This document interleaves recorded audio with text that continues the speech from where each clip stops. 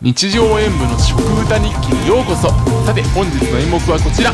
それでは演舞開演。はいというわけで本日はこちら。ファミリーマートの商品をいろいろ食べていきたいと思います。えっ、ー、とファミチキン丼に丼にポテチ。バーガーとファミチキが記念を迎えるということでなんかファミチキ商品がいっぱい出てますね。あとパンや。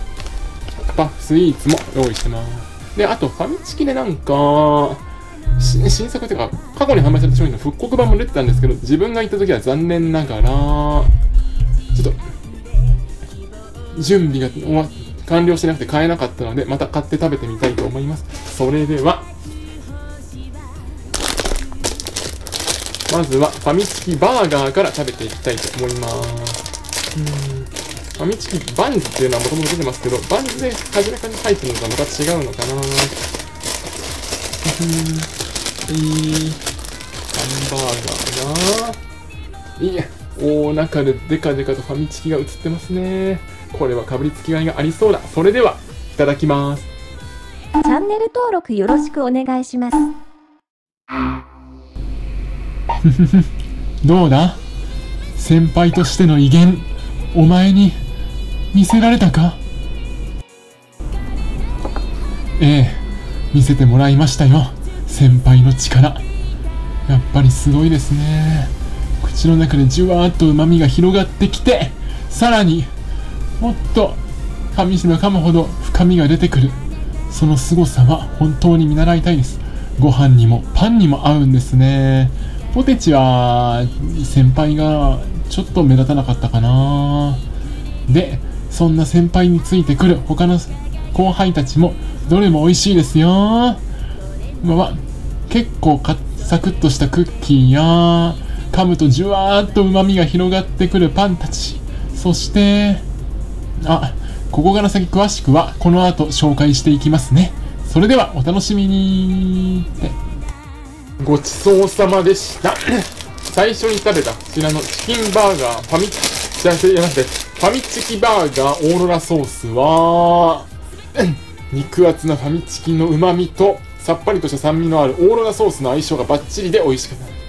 うん、通常のファミチキにもオーロラソース味出せばいいのにと思ってしまいましたね。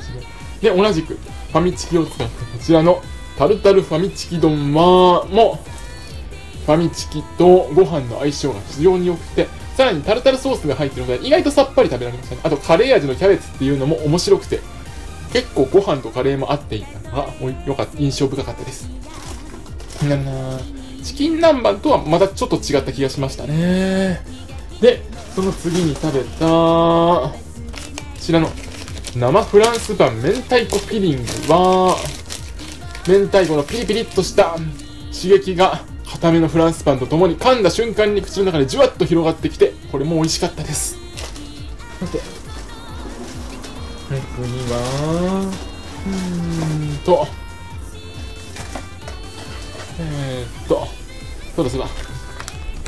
思い出した思い出した。こちらの、ふんわり生どら焼きだ。ふんわり生どら焼きは、今まで食べてきたファミマのどら焼きに比べると少し大きめで、あんがおいっぱい入っていたのかな。あっさりとした味わいの甘さを口の中でシュッ、スッと感じることができて、これも美味しかったです。うん、別の味のあんでも食べてみたいですね。その次。こちのポテトチップスファミチキ味は、確かに通常のポテトチップスとは違うんですけど、そこまでファミチキの味がするってほどでもなかったですね。やっぱり、衣の味をイメージしてるんでしょうけど、やっぱり鶏肉がないとちょっと物足りないかな。ただのコンソメパンチとそんなに変わらないような気がしたのが残念でした。で、その次に食べた、こちらの生生フランスパン、カスタードホイップもさっき食べた明太子と同じで、結構噛んだ瞬間にビリビリという、じゃない、ビリビリじゃないわ。ほわっとした生クリームの食感とコクのあるカスタードの旨味両方が広がってきて美味しかったです。うーん、デザート系として食べるならやっぱりカスタードですね。で、最後に食べたこの山崎とのコラボ商品、北海道チーズ蒸しケーキミルククリームサンドは、ふんわりしっとりとしたロングセラー、ミルクチーズ蒸しケーキの中に、あっさ、あっさりとした味わいのミルククリームが入って、ただ、チーズ蒸しケーキを食べた時はまた違ったまろやかさが入ることによる美味しさがありましたね。うん、なんだろ。もっといちごジャムとか、もっといろいろ挟んでほしいです。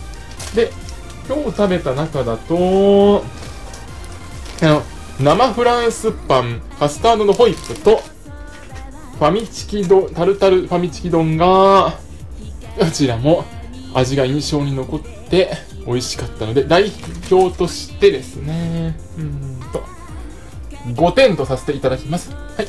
それでは、